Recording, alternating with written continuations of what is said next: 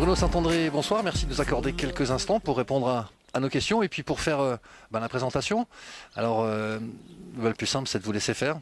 Euh, cursus et puis, comment vous êtes arrivé là, Bruno? Ben, Bruno, 43 ans, donc j'ai connu donc, le coach à Clermont en 2006, avec qui on a travaillé sur les trois saisons sur lesquelles il a passé au club. Et puis, ça faisait deux ou trois saisons qu'on essayait de voir pour retravailler ensemble, en fait. Euh, voilà, ça s'est pas fait avec le Bénin et, l'aventure euh, colmarienne, le projet colmarien, même s'il y avait une proposition euh, sur Clermont qui se regardait aussi, le fait de retravailler avec, le coach et puis le, projet, le colmarien m'a tout de suite séduit en fait. Voilà. Donc voilà, il n'y a pas eu beaucoup à hésiter et de temps de réflexion.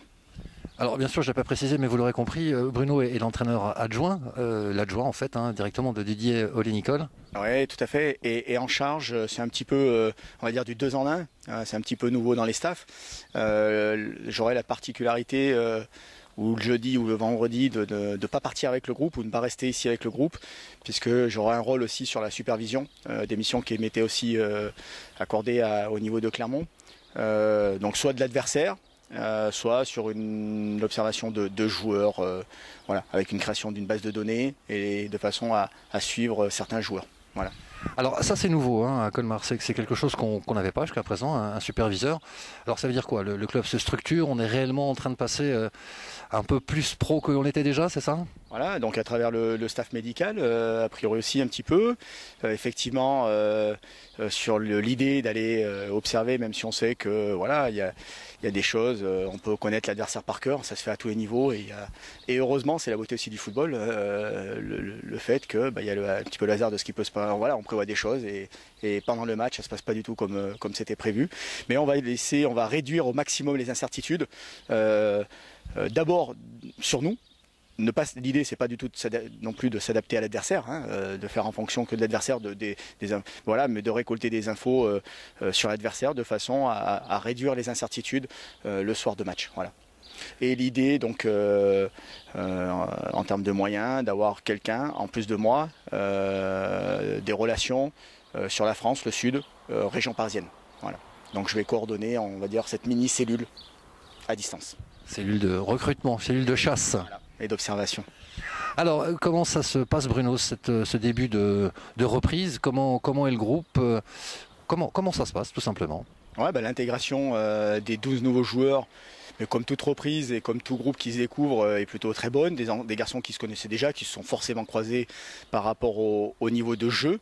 nous aussi, on fait en sorte bien sûr, dans les constitutions d'équipe, dans les relations et ainsi de suite, de façon à ce qu'ils se découvrent. Euh, mais ça, ça fait partie bien sûr du, jeu. Et pour le moment, ben voilà. L'adaptation, bien sûr, par rapport à la chaleur, mais je crois qu'on n'est pas les seuls. Tous les clubs, en regardant un petit peu à droite à gauche, s'adaptent par rapport à la chaleur, de façon à faire attention aux organismes des, garçons, de façon à ne pas les cramer. Bon, on sait que c'est compliqué, ça l'est particulièrement ces quelques jours, mais ça c'est passager, on, va dire, hein, pour la préparation. Oui, tout à fait. Le ramadan en plus au milieu pour certains. Donc on adapte euh, bien sûr par rapport à ça. On adapte par rapport au ramadan. On fait des séances supplémentaires avec euh, certains joueurs.